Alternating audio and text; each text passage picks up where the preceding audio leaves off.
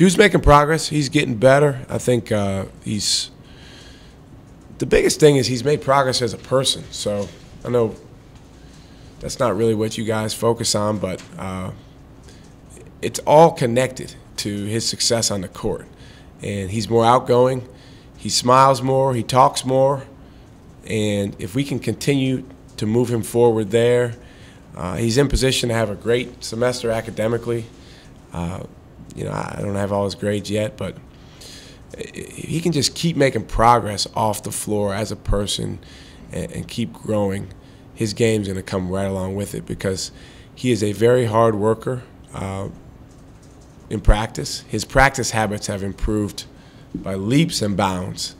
Uh, he's the second fastest learner that I've coached here at VCU, the first being Larry. Uh, those guys just pick stuff up.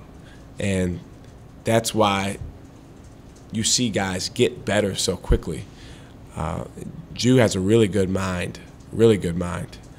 So he's gotten better, but you know he's, as you know, I'm hard on him. I, I think he's played good this year, but not great yet, and, and we can move him towards great, and we really have something.